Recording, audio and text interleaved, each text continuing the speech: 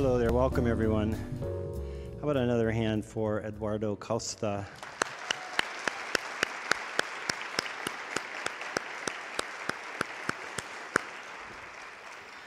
My name is John Paul Jones. I'm the Don Bennett, Mean, uh, Don Bennett Moon Dean of the College of Social and Behavioral Sciences, and welcome back uh, for our second in the four-week installment of Animalities.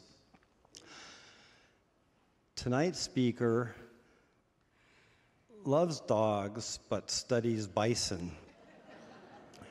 and my uh, bolo tie and boots are homage, not irony. Uh, before I introduce her, I want to say special thanks to our title sponsors, Holualoa Companies, Mike and Beth Kasser, and our SBS Advisory Board members, Ken and Linda Robin. Thank you very much for supporting this.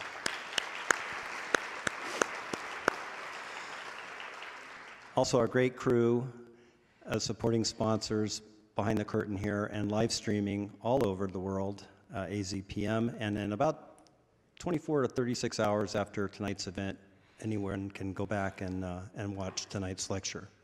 Uh, thank you, AZPM. and our community sponsors, Doctors Vivi and Adib Sabah, Dr. Uh, Barbara Starrett and Joanne Ellison, um, Penca Restaurante, and um, I want to thank especially Patricia Schwalbe, who couldn't be with us here tonight, but encourages all of you, or maybe uh, this side, to go to her restaurant tonight uh, on Broadway after the uh, lecture and have a drink and uh, enjoy some dinner. Also, uh, Park Tucson for um, all their help in getting everybody in on a very busy uh, Thursday night with roads closed from Tucson Meet Yourself, which starts tomorrow night, and I encourage all of you to go to. And then finally, this wonderful historic Fox Tucson Theater. Thanks to everyone who put all this together and made it happen.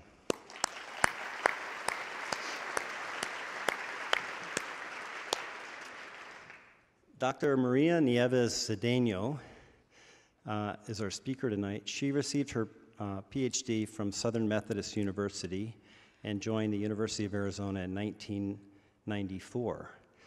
She is a research professor in and director of the Bureau of Applied Research in Anthropology in the School of Anthropology, where she also holds the title of professor.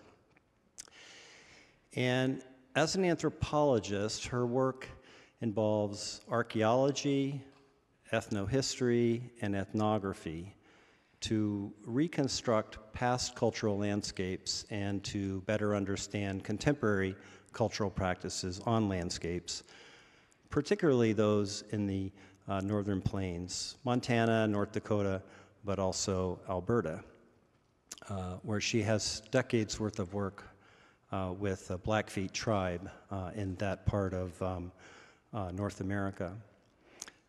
She looks at a lot of different variables, including um, what we would call culture or ways of making meaning of the world, uh, but also ways of life, demography, migration, ethnicity, territories, uh, all of which takes place on the land, involves the relationship, obviously, between people and the land, but also natural resources, and finally, and not least, animals.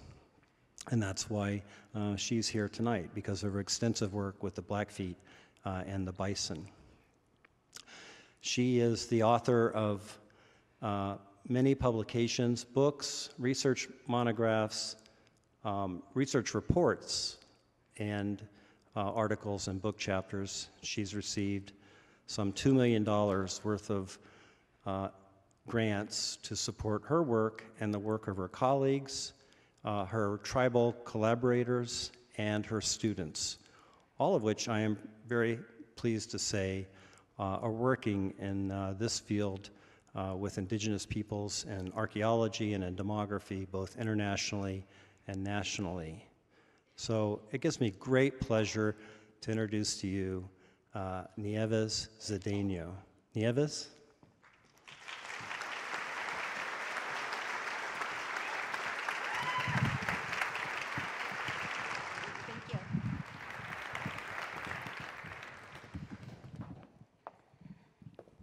Good evening. And uh, thank you for coming to listen to my talk. Uh, today, I would like to tell you about one of the oldest of human-animal interactions in North America, that of hunters and bison. And I will focus specifically on bison hunting specialists, those who have inhabited the northwestern plains of North America, Canada, and the United States since time immemorial, or perhaps archaeologically since at least the end of the last glaciation. You will hear me say throughout the talk Blackfoot and Blackfeet. Those terms are not interchangeable, neither are plural or singular. Blackfoot refers to the confederacy with whom I work, to the territory, to the ethnicity, the culture, and the language. Blackfeet, on the other hand, is the legal name of the Blackfeet tribe and its reservation in Montana. And I'm going to do my best to keep those two straight so that you so that I don't confuse you. Well, just to set the mood, let me begin with a story, a Blackfoot story. In the beginning, the creator, Old Man Napi, came from the sky to make the world. Traveling from south to north, he made the Rocky Mountains and the prairie. He made rivers and lakes and springs. From his own blood, he made red ochre, red paint. And then he made animals and plants and birds and fish. He put bison on the grassland, on the prairie, and bighorn sheep on the mountains. And then he made people, he made humans. But the humans he made had no arms or hands. hands. So a short time later, his humans came to him and pleaded, Old man Napi, take pity on us. We can't feed ourselves. We are starving. We're being killed and devoured by monsters, by these large furry animals. We can't defend ourselves. So the Creator, realizing his mistake, he came back onto the earth and gave them not only arms and hands, but he gave them weapons. He taught them how to make weapons and how to hunt. And ever since, there has been this profound and unbreakable bond between humans, hunters, and bison. Now, about 200,000 years ago, give or take a month, um, the first bison came from the Old World to populate North America, just about the time before the third of four glaciations. Now, the bison that came were not modern bison, the bison that you see today. They were uh, extinct species of bison. There, there, have been four species of bison that evolved in the North American continent two of which, Bison antiquus and Bison bison, which is the modern bison, were actually uh, hunted by the Paleo-American people.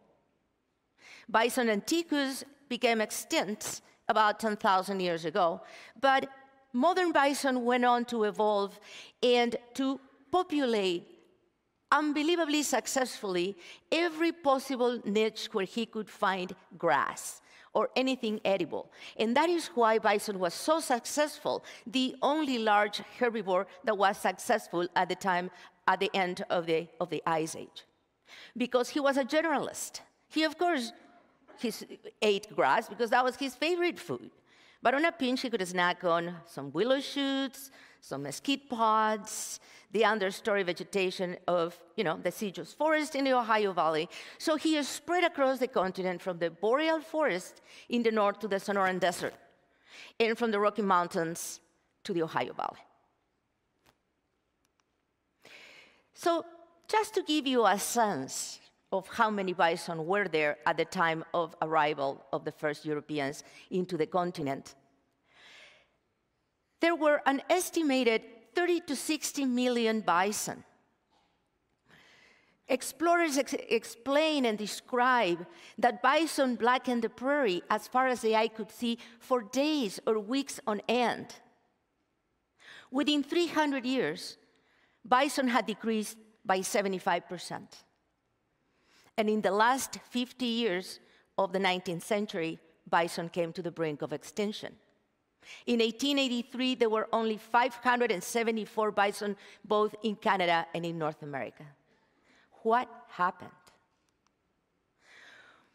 Aside from the immense engine of settlement of the West, um, there were several very specific factors that influenced the near extinction of bison.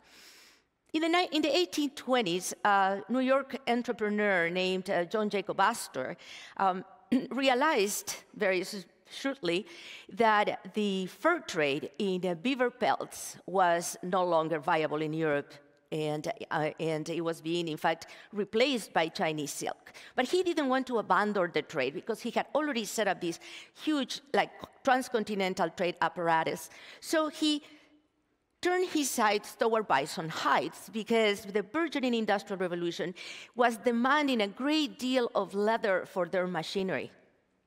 So he set trading posts along the Missouri River, the upper Missouri River Valley, from the city of St. Louis all the way to the, to the Rocky Mountains. And he attracted Native American hunters who had already been trading with Europeans and Euro Americans to hunt bison for the industrial trade. On a given year, as many as 180,000 bison hides were floated along the Missouri River down to St. Louis and beyond. Now, when that trade began to dwindle, just about the same time, uh, the railroad, the Transcontinental Railway, began its construction. And as you can imagine, huge herds of bison were a huge nuisance to the railroad workers because not only that they stopped them from progressing, but they also destroyed, they completely trampled the newly laid rails. So it was such a problem that they, the, the railroad invited travelers, guests, and their passengers were uh, encouraged to shoot, wantonly shoot bison on sight along the way. And then, of course, there were larger, older, and more profound reasons for why bison almost disappeared. Thomas Jefferson's agrarian dream and his descendants wanted so badly to see American families take on farming, have their own farms, till the ground, be productive, make the soil produce. But as they were moving to the West, they realized that no Native American in the West was willing, or at least not in the Northwest, was willing and able to settle down and have a farm. Especially bison hunting, hunting specialists, the Blackfoot and their neighbors. Why should they farm? They were wealthy, self sufficient, powerful, and they have the freedom they wanted to do anything. But yet the government perceived of them as wasteful using up land that they had not used for lazy unruly bloody rebels and ultimately very very dangerous to jefferson's agrarian dream and to the settlement of the west.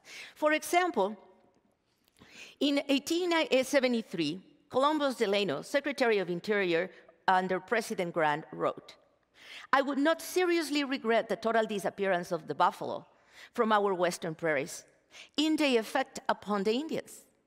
I would regard it rather as a means of hastening the sense of dependence on the products of the soil and their own labors. And by this, he meant that if you removed the very source of their independence and their self sufficiency, bison, you would subdue them and make them farmers. How wrong he was. And hence came, befell upon us, upon our continent, the worst ecological disaster of very many, many centuries. But this ecological disaster was not just natural. It affected about a third of indigenous people that occupied, that populated both the, the continent about from Canada, from the boreal forest, all the way to the Gulf of Mexico. Of course, not everybody was affected equally. On the south, there were farmers who hunted bison in summer while they were waiting for their crops to ripen. In the center, there were hunters who farmed. Then, as you go further north, there were generalists, hunters who also trapped and fished and consumed a wide variety of wild products.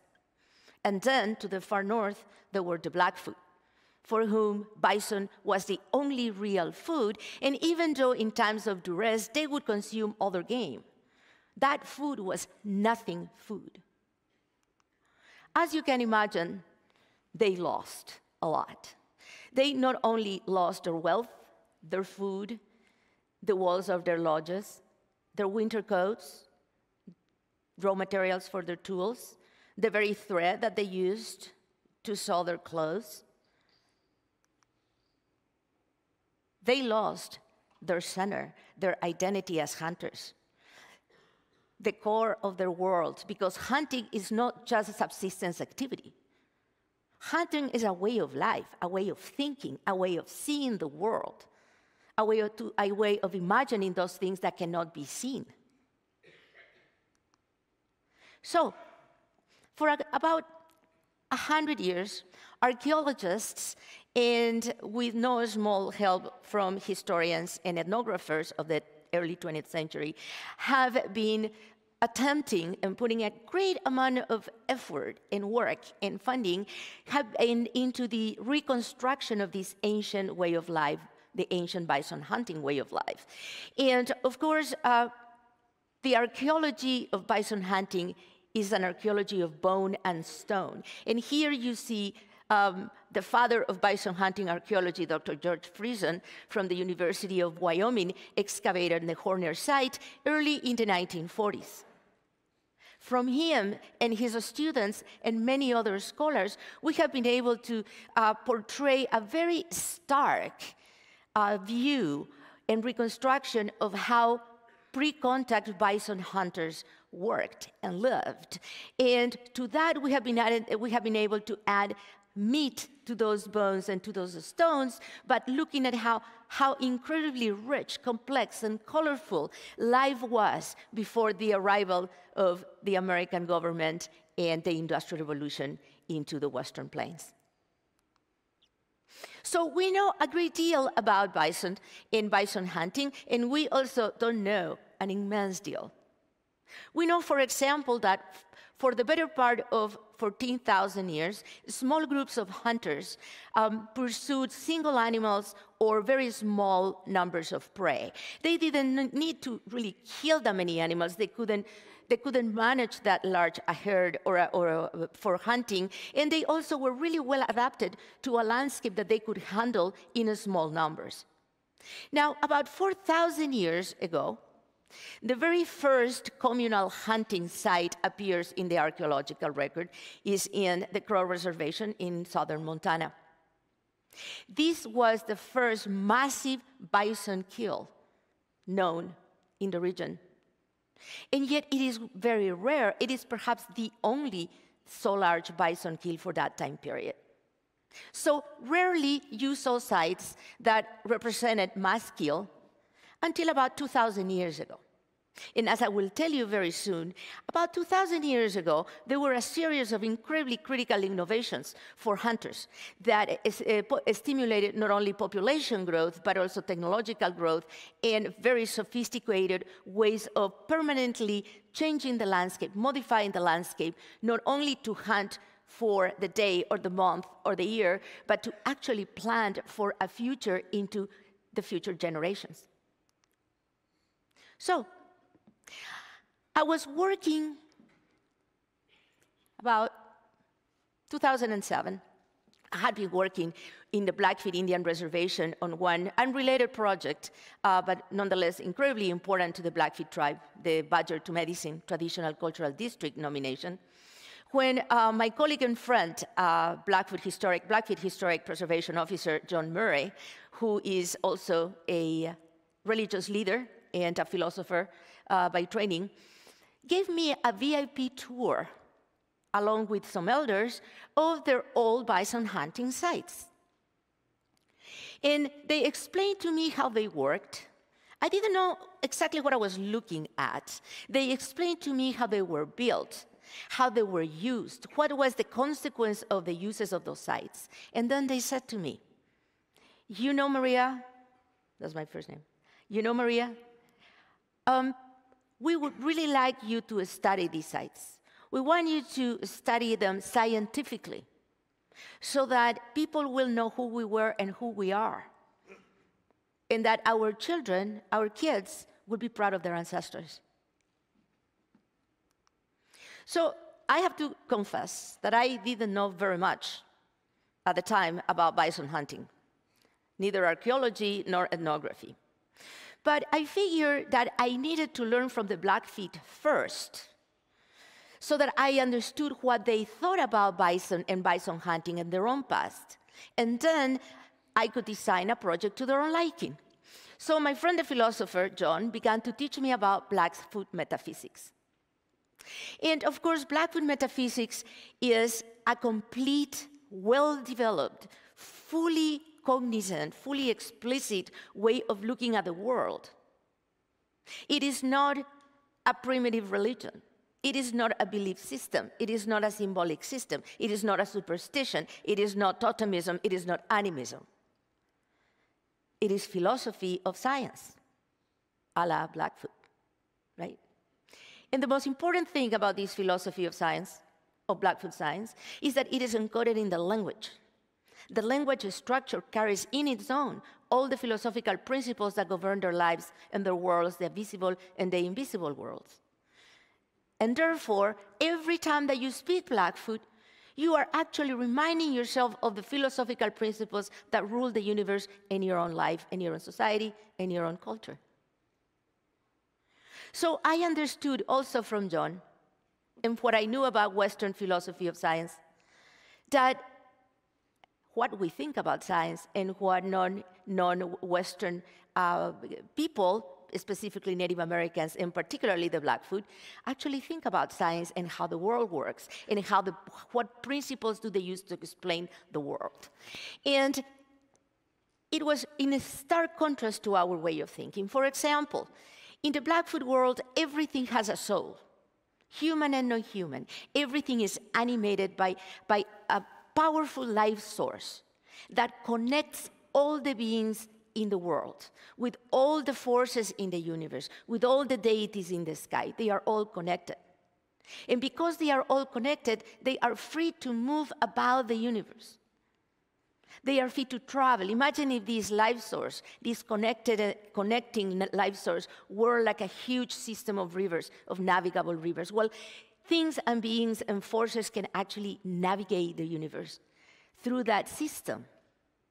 And when we think about our categories of being, our categories of being are very, very strict. And uh, for example, we have plants, animals, and minerals, right? And a plant cannot be an animal, and an animal cannot be a mineral, or vice versa. Well, in the Blackfoot world, not so. You might encounter a very large rock, one of those erratic boulders that are leftovers from the Ice Age, and you don't know whether it is indeed a rock or it's perhaps a bison or maybe a grizzly bear. So you are cautious about this rock, and just for good measure, you place an offering on the rock, on the spirit of the rock, tobacco, a dollar bill, right? And then, of course, because the world is fluid and you do not know when things are going to be in a certain stage, in a certain mode, in a certain appearance or materiality, the world is very uncertain. Humans inhabit a, very, a world that is very narrow in terms of ideal conditions for survival. And it is dangerous, inherently dangerous. It is uncertain. It, so everything that humans do and everything that humans learn, and they learn it through the spirits and through, and through other humans and through non-human persons, goes into acquiring power to make the world less dangerous, less uncertain, and more predictable. To have an upper hand into the world, a world that is, frankly, a lot larger than humanity itself. So, power and power acquisition through vision quests, through dreams, and through very formal channels of information transfer from person to person and through generations actually allows humans, the Blackfoot, to survive and be prosperous and live well. And that is what they pursue. And therefore, their system overall developed into a very formal system of learning and knowledge sharing. And then, of course, knowledge in the chaotic and uncertain world actually requires order. And the Blackfoot used the concept of bundle to bring order into that chaotic diversity of the world. So bundling is both a concept and, and, and it has in a material thing. Bundling is a way to order the universe, to discern what things can work together as a team and what things cannot work together as a team. And these teams are spirits, objects, people, deities. And each of these bundles, each of these teams, when they work together, they are larger than the sum of parts. So, so they also have a material representation that is called the bundle, the sacred bundle, the ceremonial bundle, which the Blackfeet at some point acquired and probably four or 5,000 years ago, and then carried them on to this day. Bundles, needless to say, are essential to the bison hunt. So how does the universe and the bundle universe looks from Bison's perspective? Bison has its own bundle. And in this bundle, he has allies and enemies. Beaver is one of his best friends because beaver collects and protects water bodies on the surface of the prairie. So when bison migrate, they have water to drink in between permanent streams. Fire is one, is one of bison's closest allies because fire renews the prairie and bison naturally flocked to freshly burned grass. Then he has enemies, he has predators. Wolf and grizzly bear are the only predators who can really fell a bison. And then there's hunters. Where, what's the place of hunters in the bison universe? Well, hunters are equal or less than bison. Alone and naked in the world, it would be very difficult to them to fell a bison and successfully eat it, right? Process it and eat it. But humans have helpers. One of their main allies and helper, the most intimate helper, is a marine fossil called ammonite. You probably have seen ammonites in the Rock and Mineral Show. Ammonites are these marine fossils that can be broken into a certain way. And sometimes when you break them, the fragments look like a little bison. In Blackfoot, they are called iniskim. Now, the fossils at some point in the past, in the deep, deep past, gave hunters a magical song. It's called the bison call, the bison calling ceremony. And when they sing this song and do the ceremony, they can actually charm bison so that bison can willingly come to them and they can guide them onto their death. And if you think about how many pieces of knowledge and objects um, humans require to, to successfully hunt a herd of bison, it is just staggering. They receive, from the, from the deities, they receive weapons. From the animals, they receive bundles and also the knowledge on how to hunt, for example, with wolf, how to hunt in a pack, how to drive bison in a pack. Of course, they have their charming song. From thunder, they got fire and rain-making magic. And from the water beings, the two ceremonial tipis called the black and yellow buffalo lodges. But hunting is not extractive in the Blackfoot world. It's not just that you charm the bison and you, and you, and you successfully kill it and process it and, and, and so forth. This is a partnership, it is a contract between bison and humans. And in this contract, the rules of the hunting bundle, the bison bundle, have to be observed. People have to respect the bison cycles, they have to manage the grassland in, a, in an appropriate manner, and they have to conduct renewal ceremonies so that every time they kill an animal, their spirit will remain alive. And in fact, hunters drink bison's blood as soon as they kill bison so that that act of uh, uh, transfer of life will retain the spirit of the dead, the dead bison alive. And that will be able to come back on earth and be hunted again so, armed with this rudimentary amount of knowledge about Blackfoot philosophy, which is infinitely more profound than what I can ever explain or even understand. Um, and with some background knowledge in archaeology, uh, we designed, my, a group of uh, graduate students, now alumni, and I designed the Bison Hunting Landscape Project. It was a, it was a five-year project, and of course, the Blackfeet Tribe of Montana and uh, the Historic Preservation Office were our partners and hosts, and we received about four or five grants, large and small, to support support five years of, of research.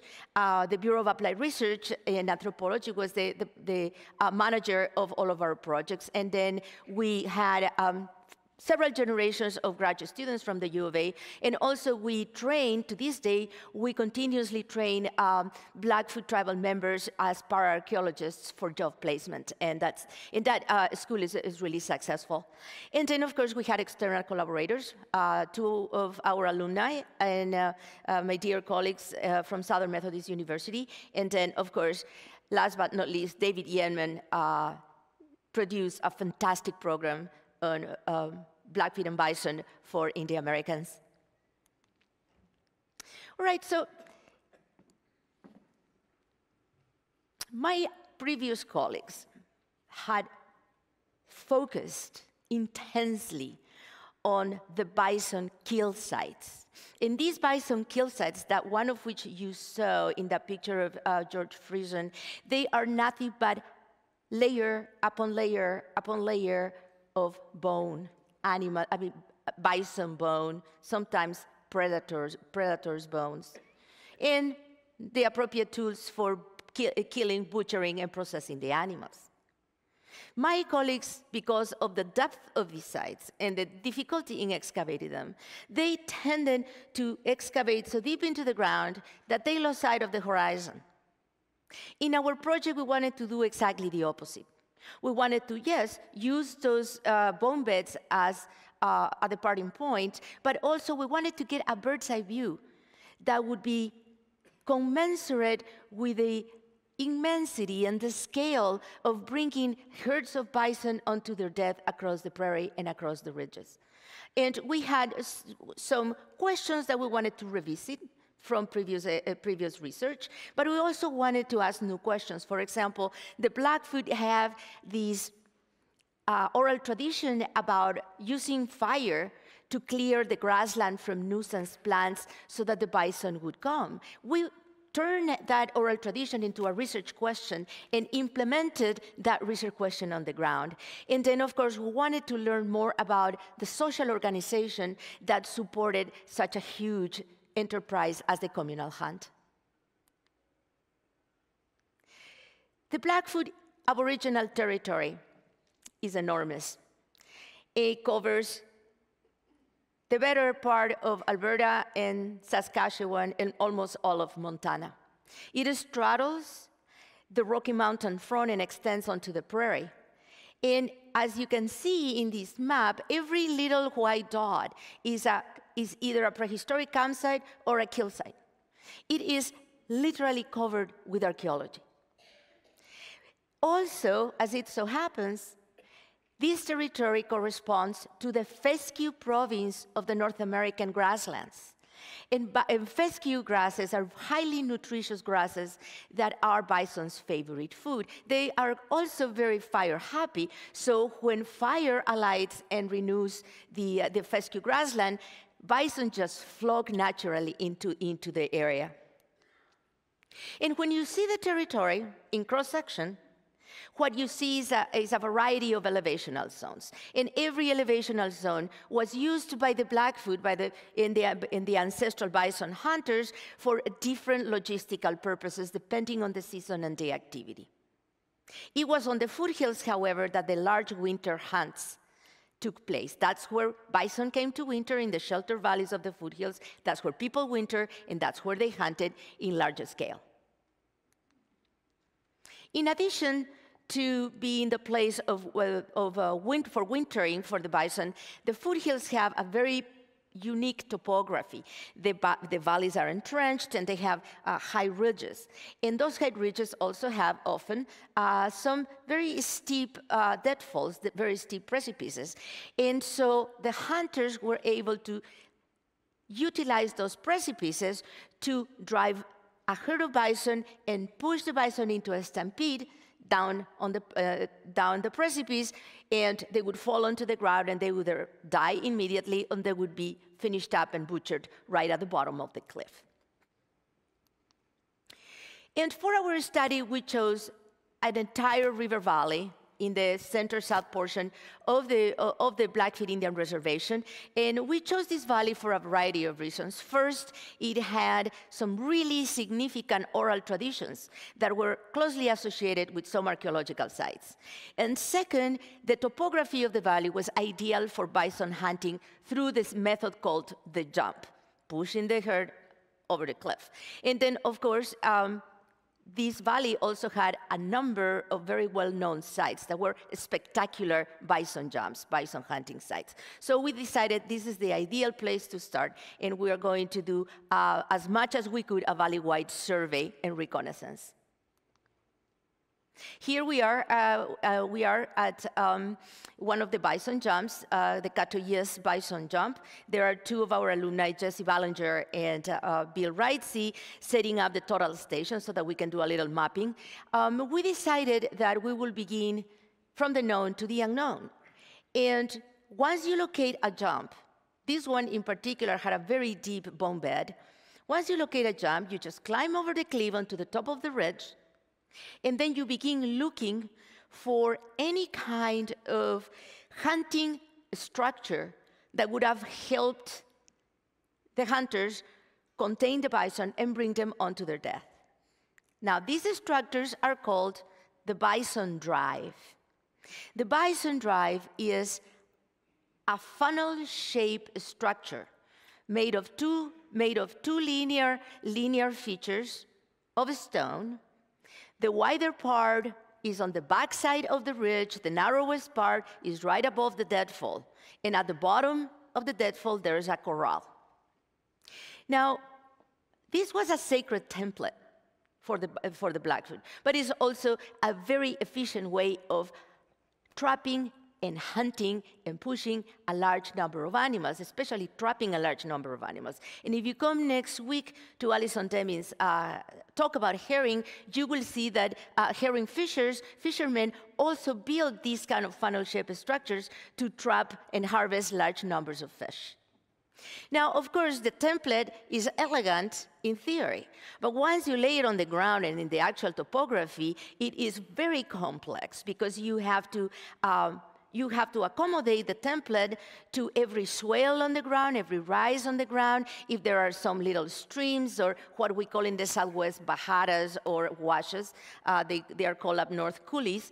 And then once you set it them in a way that it seems to work, you bring in the herd and you keep the herd within these linear features made of stone, and then you stampede them over the, over the cliff. These features are made of thousands, literally thousands. And I, say, and I know that there were several thousand because I myself recorded them with my students and my colleagues. Thousands of little rock piles, no larger than a large basket. And these rock piles are evenly spaced from the deadfall all the way to the, to the, to the backside, to where the, the bison gather and milled around. They can go one mile, three miles, maybe more. But these rock piles just definitely follow the topography and follow the template. And when people didn't have enough rock, they would use bison dung, dry bison dung, to pile it up to make these little structures. And on top of, the, of, these, of these rock piles, they would put some brush. So they, there was the illusion of a fence, but the, black, the, but the bison didn't figure out that that was like a, like a flimsy fence. They just saw the fence and followed it through. I have to tell you how to survey these. You do it on foot. Not on horse, not on car, not with satellite imagery. You walk it every single rock pile. You walk it and you GPS it. And there is a reason why our project was, was um, very new in the Northwestern Plains and among our Plains colleagues. It was because until the arrival of the GPS technology, people couldn't actually map every single one of these, these structures, and therefore maps of these drivelands may be covered 100 meters, 200 meters, and then they stopped. Well, I have personally walked miles and miles across a highway into a private carport, through their backyard, through their corral, across the hayfield, pick up the line again at the end of, the, of, of, of 10 miles of line. And I couldn't love it more. oh, sorry, but I have to, to, give a shout out to my, uh, my longtime uh, Blackfeet archaeologist, uh, Dale Fenner Sr. He started working with us in 2007 and continues to work with us, and he's the most superb field archaeology that I have ever known.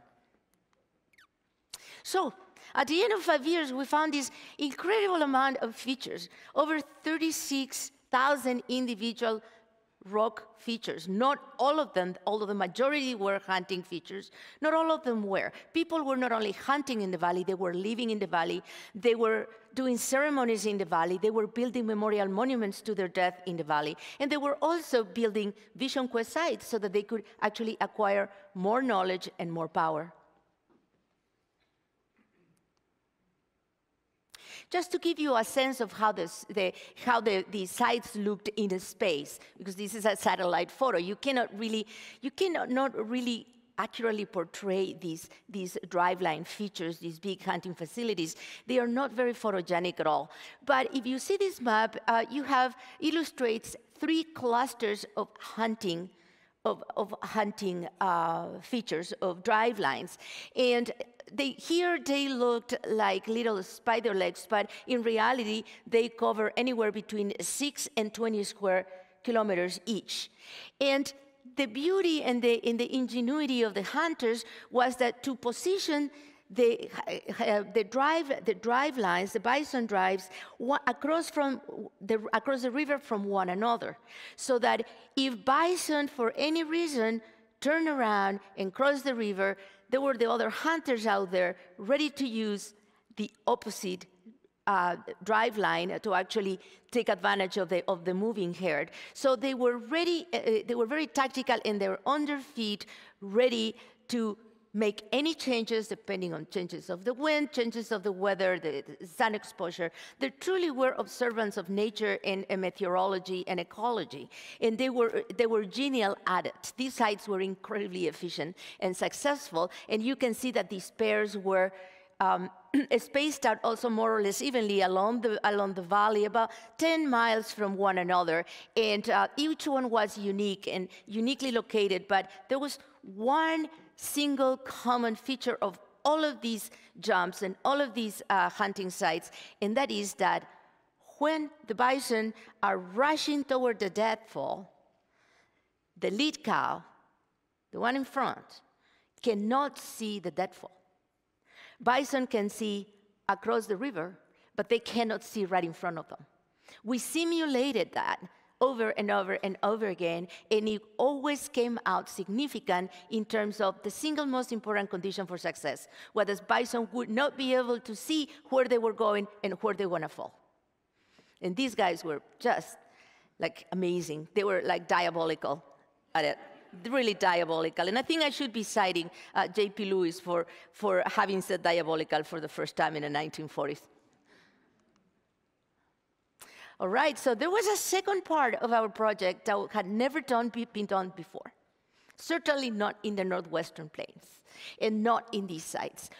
As you recall, I had told you that we were uh, looking into ways of testing uh, the use of fire, anthropogenic fire, to see if these prehistoric hunters were going to use anthropogenic, were using anthropogenic fire in the valleys. So my brilliant colleague and also U of A alumni, Chris, uh, Christopher Roos from Southern Methodist University, and his wife and colleague, uh, Kacy Hollenback, um, came to help us design uh, a study, uh, a test for finding uh, evidence of grassland fire.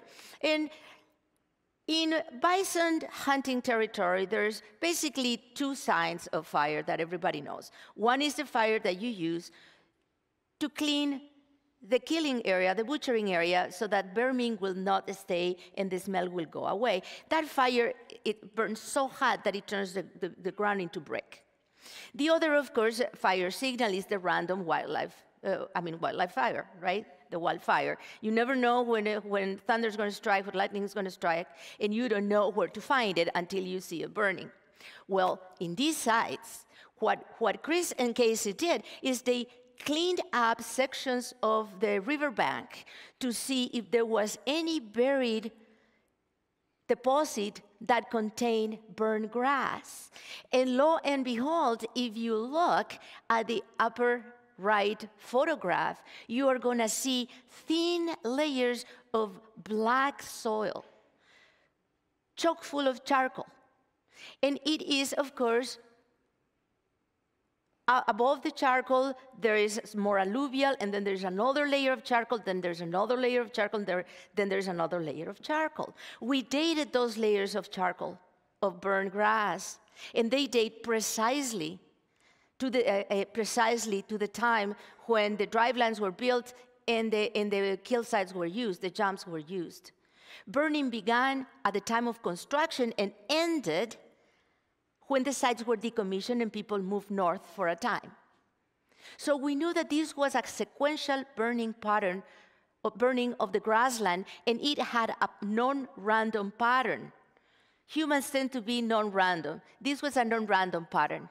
But more importantly, it was not just non random, it was asynchronous. And by that I mean that we, of all of the samples we took along the river, none of them burned at the same time. The hunters were burning one section of the valley first, then they were moving to another section, and they were moving to another section. So while one was recovering from burning, the other one was growing fresh grass, and the other one was about to be burned. So, in short, we actually were able to illustrate not only the degree and the intensity with which the landscape was actually utilized and bison was utilized, but also the depth and the extent of permanent modification of the ecology of the grassland and of the topography of the river. These guys were landscape engineers and landscape ecologists. And that is one of the greatest and most satisfactory discoveries that I think our project actually came to. So when you look at bison hunting, in short, you have to look at it at multiple scales. You, ha you have to look at it at the place where the bison fell to their death, at the place where they were grazing, at the scale where they were being driven into the valley. Similarly, you have to look at it from various temporal scales. The millenary knowledge that people accumulated from, from vision quests and from personal experience and from transmission of knowledge through the millennia came to bear on centennial scale transformation and modification of the landscape for hunting. Three, six, seven hundred years. 800 years of occupation of the valley.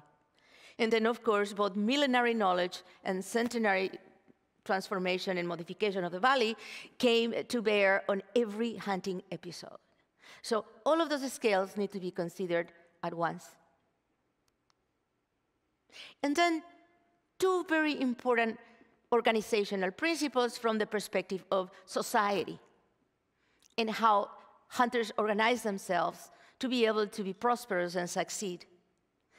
The yin and the yang of communal hunting, cooperation and order. We often hear the hunters cooperate with one another and they are very altruistic. Well, when you're hunting several hundred bison every single season and you have a lot of mouths to feed, you cannot just cooperate. You also have to impart order. But cooperation can be seen, you know, at the site level with the construction of these huge facilities that require, you know, the transportation of thousands of rock. You can see it at the valley in terms of how the sites were laid out and how organic communication must have been in order to successfully move herds from one hunting cluster to another. And then, of course, at the regional level, cooperating brings the ability to buffer times of scarcity, to protect yourself from scarcity by communicating properly and cooperating with your fellow hunters down the river or across, ac across another valley. And that also protects you from danger and from intruders. And then order. The very communal hunt is, in and of itself, our organizing principle, our ordering principle, because it structures opportunity for future success. When you permanently change the landscape. You create a, you create a human, a cultural landscape that you can control, that, you can, that allows you to predict to an extent, right? And then it prediction also promotes permanence among mobile hunters that do not occupy the valley year round. There were several different kinds of leaders.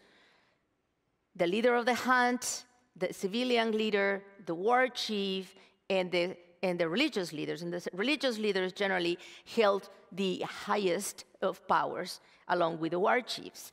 And then there were these supraban corporations. They're corporate institutions better known as sodalities or bundle groups or, or uh, mystical societies. And the function of these societies was to cross-cut uh, band identity and cross-cut uh, gender and age so that um, pools of knowledge would be maintained within the institution, within the society, and they would be properly transferred to the initiated and to other uh, younger generations. And of course, these corporations also helped, not necessarily forcefully, but by their very functioning, to redistribute wealth. Because by, you know, by the time when, when uh, bison, communal bison hunting was at its height, these people were really, really rich. They were very wealthy. Now, in terms of the evolution of the hunt, and just to sum all this up, if you look at the past 5,000 years, what you see is, is at the beginning you have you, you have small groups of people already positioning themselves strategically on the landscape in places where, where bison would be most likely to be, to, be, to be there, to be present, or to be hunted. But as archaeologists, often need proxies of measurement of growth and evolution because we cannot measure everything and we can certainly do not, cannot count people very accurately. So in this particular case, a good proxy of evolution from stocking single animals to to the, the height of the communal hunt is the acreage of hunting space as defined by the archaeological hunting ground. So the first of the first uh, two or three millennia in this graph, what you have is relatively small sites. They grow in pace with the natural growth of population and the natural colonization of new niches, new grasslands. And um, of course, communal hunting rises uh, about 4,000 years ago, as we said. But it is at two, the, the 2,000 year mark that you can really see the, the uh, impact of technological innovations on the rise of the communal hunt. And first, first is fire. With fire, you can not only you can not only manipulate the, the, migration patterns of the bison herd, but you can also renew the grassland. And that has the effect of increasing the human carrying capacity of the prairie, of the, of the region. So you can have more people coming in and more people hunting, and sites begin to get much larger. Then, of course, once you have the ability to bring in large numbers of bison, you begin to develop the bison, the bison driving technology in the form of the constructions of these, of these permanent facilities, these stone facilities. And with a lot of animals being killed and processed, you have to devise a way to store food that you are not consuming immediately. And pemmican, I don't know, you probably have heard the word pemmican. Pemmican is a highly nutritious cake, like a health bar, made of dried, crushed bison meat with berries and bison fat. And you make them into these very lightweight, um, very long, long shelf life, very you know, easily storable cakes. And you can transport them, and if you prepare them properly, they will last up to two years. So with the, with the manufacture of pemmican also comes the ability to trade for other products such as corn or feathers or you know tubers, etc.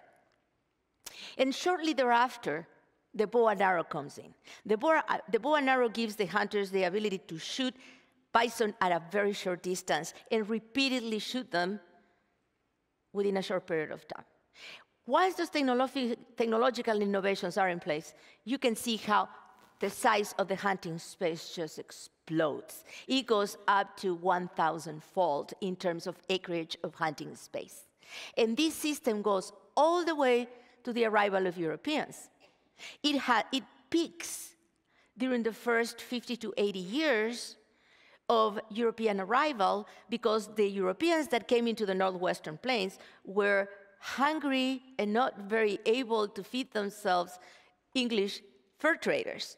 And immediately the Native Americans figured out that they could get guns, they could get, you know, like luxuries and many other, many other European goods in exchange for feeding the Europeans.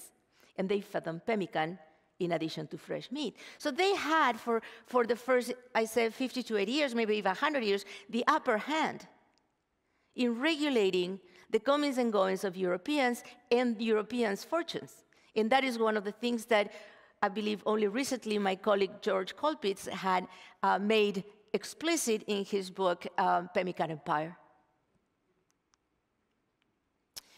So I started with the story of loss. When the system, the height of the, and the peak of the communal hunt, tanks in 1850 and on, with the arrival of industrial revolution and the federal, the US government, federal uh, mandated extinction of bison and confinement in reservations. But I didn't want to leave you with a sense of loss. I want to give you, give you a sense of hope. I want to give you an idea of how hopeful is the future of hunters and bison in North America. And bison has recovered, but the road took 100 years to recover. It was only because a few dedicated ranchers and, and park rangers and uh, private, concerned private citizens and their efforts and their lobbying that viable herds began to emerge out of a few pairs of reproducing animals. It took 100 years to create reserves both in Canada and the US that would actually invest in reproductive systems programs for bison. And they were incredibly successful. They were so successful, in fact, that 100 years after the last bison hunt, Congress funded the Bison Intertribal Council to begin to establish bison ranchers inside Indian reservations. For their part, the Native Americans, the Blackfoot in particularly, and the Blackfeet tribe in particular, um, they suffer incredible incredible losses, staggering losses. They was like the rug had been pulled from under their feet, and they walked around in the beginning, people say, as if lost in a fog. They suffer a large massacre upon which they very uh, humbly walked into the reservation on their own will. And after the last bison hunt, they were so lost because they didn't know what else to eat that they almost starved to death because government rations weren't enough to, to feed so many people. And then within a generation or two, they began to, they didn't want to abandon hunting. So they began to reinvent and reorient the hunt toward elk and toward the Rocky Mountain front, where they could actually freely hunt outside the purview of the federal government and the missionaries who wanted to, of course, uh, civilize them. During the late portion, the, the, late portion of the 20th century, there were a lot of movements such as the American Indian movement. A lot of uh, youth after the Vietnam War uh, came back to the reservations. They had been relocated, their parents had been relocated, they wanted to come back and relearn who they were and find their culture. It was a quest for cultural identity. And they, of course, sought the elders that were, that were still alive and had knowledge about their past to teach them again the rules of the game and the rules of the bundles so that they could actually revitalize their culture. And a variety, like a number of uh, pieces of federal legislation, allowed them to actually do that and protect them while they were questing for their culture, for their own identity. And um, with the repatriation, with legislation for, that allowed for the repatriation of human remains and uh, sacred items, the Blackfoot were able to recover bundles that had been sold or had been lost or that had been confiscated from them in Canada and the US. And with those hunting bundles, the beaver bundle, they began to uh, develop an initiative for bison's return. Bison are, are thriving and growing. Look at them. They are enjoying the comforts of modernity, right? They're smart.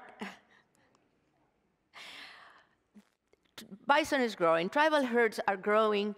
Um, co-management is incredibly needed, and there's a lot of cooperation between private estates, federal and tribal ranch, uh, ranches to actually keep healthy herds and to keep them growing, but keep them also under control because bison used to roam freely, but they can't do that anymore. They live in a closed system that requires grassland management, that requires uh, population management through strategic culling of the herds and, uh, uh and uh, for example, hunting and slaughtering, slaughtering for like healthy food.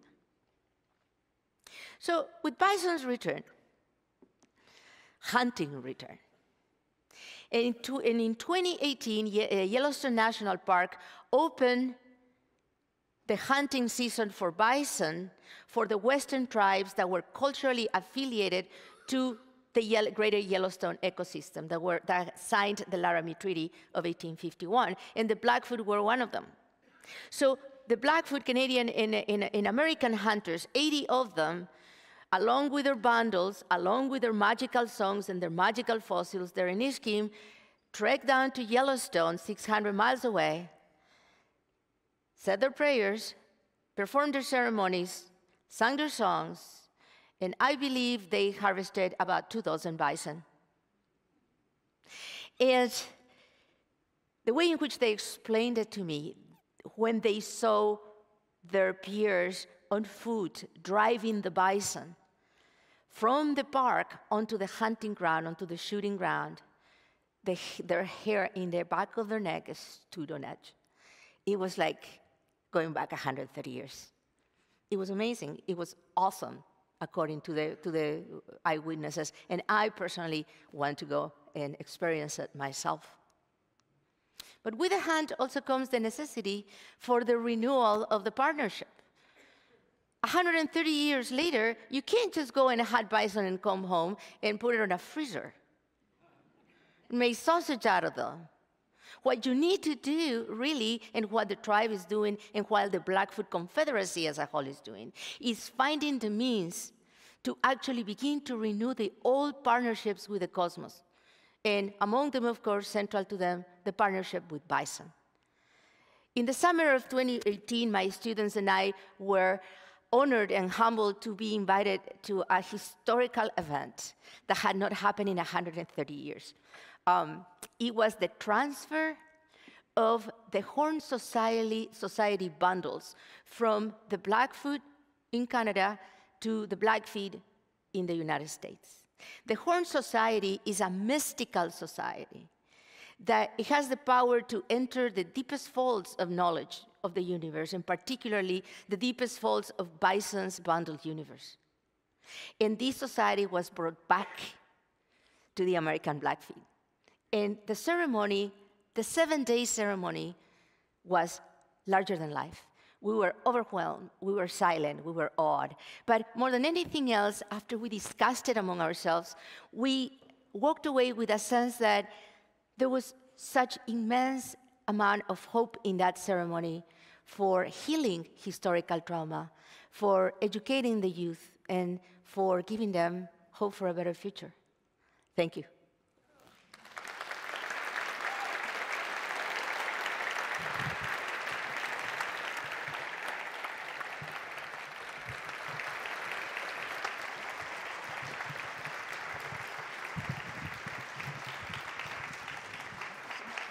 Thank you.